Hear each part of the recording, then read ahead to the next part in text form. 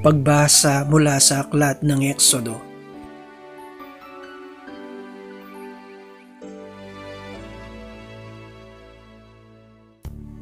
Mula sa Elim, nagpatuloy sa paglalakbay ang mga Israelita at ikalabing limang araw ng ikalawang buwan mula nang sila'y lumabas sa Egypto nang sila'y dumating sa ilang ng Sin sa pagitan ng Elim at Sinai ang mga Israelita ay nagreklamo kina Moises at Aaron. Sinabi nila, mabuti pa sana'y pinatay na kami ni Yahweh sa Egypto. Doon, nakakakain kami ng karne at tinapay hanggang gusto namin. Dito naman sa ilang na pinagdalhan ninyo sa amin, mamamatay kami sa gutom. Sinabi ni Yahweh kay Moises, Paulanan ko kayo ng tinapay mula sa langit. Araw-araw palalabasin mo ng bahay ang mga tao para mamulot ng kakainin nila sa maghapon. Sa pamamagitan nito'y susubukin ko kung susunod sila sa aking mga tagubilin. Tuwing ikaanim na araw, doble sa karaniwan ang kanilang pupulutin at hihahanda. Sinabi ni Moises kay Aaron, Paharapin mo ang buong bayan kay Yahweh sapagkat narinig niya ang kanilang reklamo nang sabihin nito ni Aaron, ang buong bayan ay humarap kay Yahweh sa gawi ng disyerto at bigla na lamang nilang nakita sa ulap ang kalulahatian ni Yahweh. Sinabi ni Yahweh kay Moises, Narinig ko ang reklamo ng mga Israelita. Sabihin mo sa kanila na sa pagtatakip silim, bibigyan ko sila ng karne. Sa umaga, bibigyan ko sila ng tinapay hanggang gusto nila sa gayoy malalaman nilang ako si Yahweh, ang kanilang Diyos. Nang magtakip silim, dumagsa sa kampo ang napakaraming pugo. Kinaumagahan naman ay makapal na makapalang hamog sa paligid ng kampo. Nang mapawi ang hamog, nakakita sila sa lupa ng maliliit at maninipis na mga bagay na parang pinipig.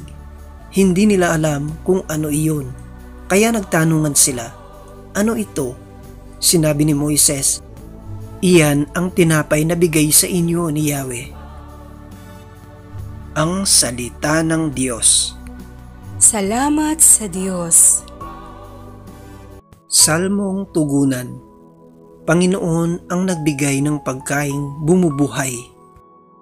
Tinitikis nilang kusa, sinusubok nila ang Diyos. Ang hiningi ay pagkain gustong gusto nilang lubos. Kinalaban nila ang Diyos nang sabihin ang ganito, sa gitna ba nitong ilang mabubusog niya tayo? Panginoon ang nagbigay ng pagkaing bumubuhay. Gayunpaman, itong Diyos nag-utos sa kalangitan at ang mga pinto nito'y agad-agad na nabuksan. Bunga nito, ang pagkain bumuhos na parang ulan, ang pagkain nilang mana sa kanila'y ibinigay. Panginoon ang nagbigay ng pagkaing bumubuhay.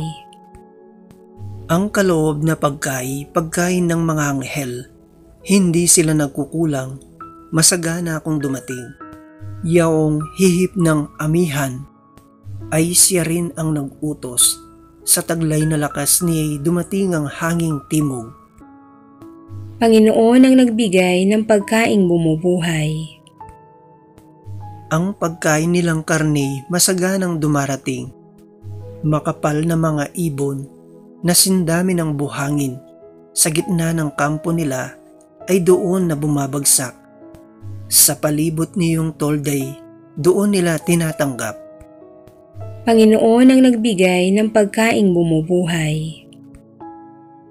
Aleluya, Aleluya. Salita ng Diyos ang buto na tanim ni Yeso Kristo upang tumubo sa tao. Aleluya, Aleluya. Ang mabuting balita ng Panginoon ayon kay San Mateo. Noon ding araw na iyon, si Jesus ay lumabas ng bahay at naupo sa tabi ng lawa. Dahil sa dami ng taong lumalapit sa kanya, sumakay siya sa isang bangka at doon naupo. Tumayo naman sa dalampasigan ang mga tao at sila'y tinuruan niya ng maraming bagay sa pamamagitan ng mga talinhaga. Ganito ang sinabi niya, may isang magsasakang lumabas upang maghasik. Sa kanyang paghasik ay may mga binhing nalaglag sa tabi ng daan. Dumating ang mga ibon at tinuka ang mga iyon. May mga binhi namang nalaglag sa mabatong lupa. Dahil manipis lang ang lupa roon, sumibol agad ang mga binhi ngunit natuyo agad ang mga ito nang mabilad sa matinding init ng araw. Palibas ay mababaw ang ugat. May mga binhi namang nalaglag sa may matitinik na halaman. Lumago ang mga halamang ito at sinakal ang mga binhing tumubo doon. Ngunit ang mga binhing nasik sa matabang lupa ay namunga. May tig sa sandaan, may tig aanim na po at may tig tatatlumpu. Makinig ang may pandinig. Ang mabuting balita ng Panginoon. Pinupuri ka namin, Panginoong Heso Kristo.